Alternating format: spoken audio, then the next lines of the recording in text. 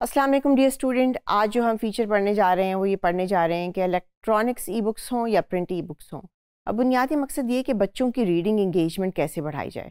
जब भी हम कोई कहानी बच्चों के साथ पढ़ते हैं तो ये बहुत ही इंपॉर्टेंट है कि बच्चे उस कहानी को उतनी ही अटेंटिवली जहाँ से शुरू किया था, उतनी ही अटेंशन से उसको ख़त्म करें। ये ना हो बच्चे बीच में बोर हो जाएँ, वो सुनना बंद कर दें, उनकी अटेंशन कहीं और चली जाए, और वो कहानी पर उनका फोकस ख़त्म हो जाए। तो असल में रीडिंग एंगेजमेंट है क्या? ये एक एबिलिटी है कि जो भी कहानी पढ़ रहा है या लर्नर है, वो अपना फोकस मेंटेन रखता है अपनी रीडिंग में throughout from the beginning till the end so ये कैसे हासिल किया जा सकता है? हमारे पास स्टडीज़ ये हमें बताती हैं कि इसके बहुत से इंटरेस्टिंग तरीके हैं। मिसाल के तौर पे हम कहानी में कमेंट्स कर सकते हैं, कहानी को रोक सकते हैं, उसके डायलॉग्स पे कमेंट्स कर सकते हैं, उसमें जो इलस्ट्रेशन हैं उनको पॉइंट आउट कर सकते हैं इमेजेस पे कमेंट्स कर सकते हैं, खुद भी कर सकते हैं, बच्चों को भी कह सकते हैं कि कमेंट करें, आप लोग सवाल जवाब कर सकते हैं। जब हम बच्चों से सवाल जवाब करते हैं और एकदम कहानी में पोस्ट लेते हैं और पिन पॉइंट करते हैं तो बच्चों की अटेंशन वापस आ जाती है और वापस वो हमें गौर से सुनते हैं कि हम क्या पूछ रहे हैं और उस फीचर को किताब में दोबारा देखना शुरू कर देते हैं। इसका मतलब ये हुआ कि बच्चों की अटेंशन को फोकस रखने के लिए और उन्हें इंगेज करने के लिए एक दस मिनट की कहानी में आपको बहुत दफ़ा कमेंट्स करने पड़ेंगे और उनको बार बार उनकी टेंशन को वापस लेकर आना पड़ेगा क्योंकि टेंशन बहुत ही आसानी से डाइवर्ट हो जाती है। अब बुनियादी तौर पे जो रीडिंग एंगेजमेंट है ये खुद एक मैकेनिज़्म है। आ, किस चीज़ के लिए ये वो मैकेनिज़्म है जिसके अंदर जब दो तीन लोग हम मिल के पढ़ रहे होते हैं टीचर और स्टूडेंट्स या पेरेंट्स और बच्चे तो बार बार उन्हें इस इंगेजमेंट मैकेनिज़्म के थ्रू कहानी की तरफ़ वापस लेकर आते हैं। आ, जिसके थ्रू उनकी जो लिटरेसी स्किल्स हैं वो इम्प्रूव होती हैं। डायरेक्ट इन्फ्लुएंस करती है हमारी रीडिंग एंगेजमेंट इन चीज़ों के थ्रू इन्फ्लुएंस होती चली जाती है। सबसे पहले ये कि टाइप ऑफ़ टास्क क्या है जो आप कहानी उनको पढ़ा रहे हैं उस कहानी के अंदर कितनी मैनिपुलेटिव फीचर्स हैं आप मटेरियल्स क्या हैं उसके अंदर मैनिपुलेटिव फिगर्स कौन कौन से हैं आ, उसके अलावा आप कितनी अच्छी तरीके से कहानी पढ़ाते हैं वर्बल स्केप फोल्डिंग कैसे करते हैं आप बच्चों को वापस कैसे लेकर आते हैं कहानी के प्लॉट की तरफ़ उन्हें किस किस्म की फीडबैक दे रहे हैं और ये कि कहानियाँ पढ़ कैसे रहे हैं ये इट एक बहुत इंपॉर्टेंट फीचर है।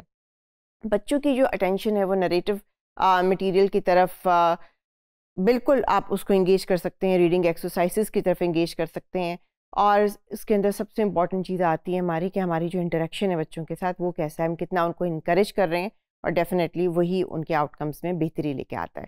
यहाँ आपके सामने कुछ एग्जांपल्स हैं कि अगर आपके पास स्टोरीज़ हैं और ई स्टोरीज़ हैं तो आप उनको कैसे इस्तेमाल कर सकते हैं। तो इमर्जेंट लिटरेसी स्किल में समझें कि पहले आ रहा है आपका अल्फ़ाबेट नॉलेज तो डेफिनेटली आपकी जो ई बुक है, उसके अंदर कुछ लेटर्स होंगे जिसको आप क्लिक करेंगे हॉट स्पॉट को तो वो उसकी प्रोनाउंसिएशन बता सकता है। आप कुछ वर्ड्स को जो है हाईलाइट कर सकते हैं। वो बार बार आपको रिपीट करके वो वर्ड सामने ला सकता है या उसकी साउंड या प्रोनाउंसिएशन आपको रिपीट करके आप सुना सकते हैं बच्चों को। और टीचर क्या करेगा इसमें? टीचर जो है वो पॉइंट आउट करेगा उन लेटर्स की तरफ़ या उन वर्ड्स की तरफ़।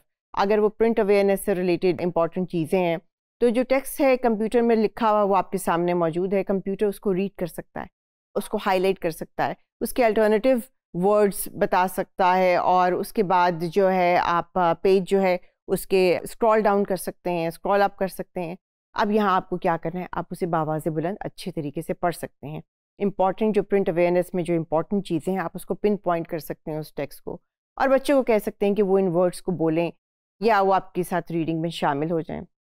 आप use and understanding of language जो है, इसको कैसे इमर्जेंट लिटरेसी स्किल है डिजिटल फीचर में कैसे टीचर इस्तेमाल करे, इस किस्म के सवाल जो हैं वो कंप्यूटर के अंदर भी फ़ीड अप कर सकते हैं इंटरेक्टिव क्वेश्चंस और आप खुद भी कर सकते हैं जो रिलेटेड हैं क्यों, क्या, कैसे, कहाँ से रिलेटेड और आप पूछ सकते हैं कि मुख्तलिफ़ करेक्टर्स के बारे में कि उसने ऐसे क्यों किया या उसकी मुख्तलिफ़ किस्म की आवाज़ें कैसे हो सकती हैं।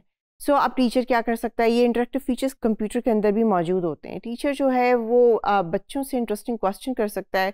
जैसे कि कि आखिर इसकी आवाज़ इतनी भारी क्यों है या पतली क्यों है? या इसने ऐसे कपड़े क्यों पहने हुए हैं? या ये इस तरह क्यों चल रहा है?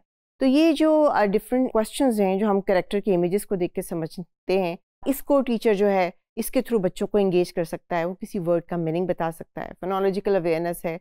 डेफिनेटली कंप्यूटर में अगर डिक्शनरीज हों तो वो खुद प्रोनाउंसिएशन बता सकती हैं। जो टीचर्स हैं बुनियादी तौर पे वो उस प्रोनाउंसिएशन को अदा करने में, उसको याद करने में हेल्प आउट कर सकते हैं। उनको फ्रेगमेंट में तोड़ के लंबी टर्मिनोलॉजीज़ को आसान तरीके से बच्चों को सिखा सकते हैं। या कुछ ऐसी टर्मिनोलॉजीज़ जो साउंड कुछ और करती हैं, पर वर्ड्स में कुछ और हैं। फॉर एग्जांपल हो सकता है वो कोई फ्रेंच के वर्ड्स हों, पर इंग्लिश में इस्तेमाल हुए हों तो वो उनको बता सकती हैं कि कैसे प्रोनाउंस होंगे। कॉम्प्रीहेंशन आपकी ई बुक में क्या फ़ीचर है? आपकी वर्ड डेफिनेशन हो सकती हैं कंप्यूटर के अंदर। उसके अलावा कंप्यूटर आपको ग्राफिक्स बताता है टेक्स्ट के साथ साथ उसके अंदर मौजूद होते हैं। कंप्यूटर कहानी आपको खुद पढ़ के सुना सकता है, जिसे आप बार बार पढ़ सकते हैं और आसानी से समझ सकते हैं। टीचर क्या कर सकते हैं? वो भी कंप्यूटर के साथ जो एक्स्ट्रा टर्मिनोलॉजीज़ हैं या एक्सप्लेनेशन है, वो दे सकते हैं कि ये चीज़ें क्या थी, कोई बैकग्राउंड इन्फॉर्मेशन बता सकते हैं उस कहानी के बारे में कि ये कहानी ऐसे शुरू हुई थी या अगर वो कोई हिस्ट्री का वाक्य है तो मल्टीपल रीडिंग टेक्स्ट की एग्ज़ाम्पल दे सकते हैं, उनको उसी वक्त दिखा सकते हैं। रीडिंग एंगेजमेंट के एंड एक्सपेंशन ऑफ़ एक्टिविटीज़ इसके अंदर क्या चीज़ें आ जाती हैं? कंप्यूटर के अंदर क्या होगी? चीज़ें डिजिटल एनिमेशन मौजूद होगी साउंड्स मौजूद होंगे गेम्स एक्टिविटीज़ मौजूद होंगी। लेकिन टीचर क्या कर सकता है? टीचर अपने सवाल पूछ सकता है, अपनी आवाज़ उसके अंदर ऐड ऑन कर सकता है, अपने फेशियल एक्सप्रेशन दे सकता है जब वो कहानी को पढ़ रहा है। और पपिट्स को और इस किस्म की चीज़ों को यूज़ कर सकता है। इस तरीके से जो डिजिटल फीचर्स हैं, जब टीचर सपोर्ट करता है और बच्चों को वापस उनकी तरफ़ लाता है तो डेफिनेटली बच्चों की रीडिंग इंगेजमेंट होती ही होती है।